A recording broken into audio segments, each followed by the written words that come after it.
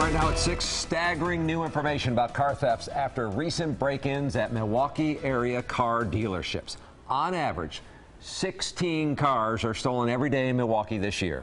And recently, area dealerships have been the target, with a dozen cars stolen right off the lots just this week. Today, Chief Ed Flynn spoke for the very first time about the recent thefts and who is behind them. Jonah Kaplan is live on the city's northwest side with this story. Jonah. Charles and Shannon, the chief says that these car thefts, they're not to sell any parts at a chop shop. In fact, the suspects, many of them, they're not even old enough to get a driver's license. Chopper 4 caught this police response just after 5 a.m. Wednesday. Thieves smashed their way into the Russ Darrow Honda showroom at 91st and Brown Deer. They find keys, find three cars, and ride off into the sunrise. For a subset of juvenile offenders, this is a way towards having a neighborhood reputation and having, you know, street cred. Wednesday's theft comes just two days after another group of thieves drove off with seven cars from John Amato Hyundai at 76th and Dean.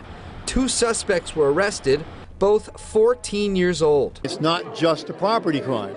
Last year, more people were killed by stolen cars than by armed robbers all right, because they drive like crazy. MPD's District 4, covering the city's northwest side, has been hit especially hard recently. Since January 1st, crime analysts report 309 car thefts, an average of more than two per day.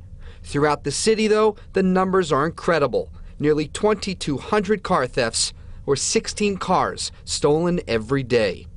It's happening outside Milwaukee, too. These are pictures from an attempted robbery at a dealership in Greenfield attempted only because the dealership leaves dummy keys around at night. We're a small dealership, so we really can't afford to lose a car. You know, it's, it hurts us a lot more than, than the big guys.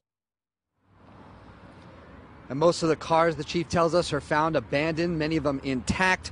The chief says the juvenile court system really needs to be tough on those arrested and convicted. We're live here on the city's northwest side. Jonah Kaplan, today's TMJ4. The numbers are alarming. All right, Jonah, thank you. The Milwaukee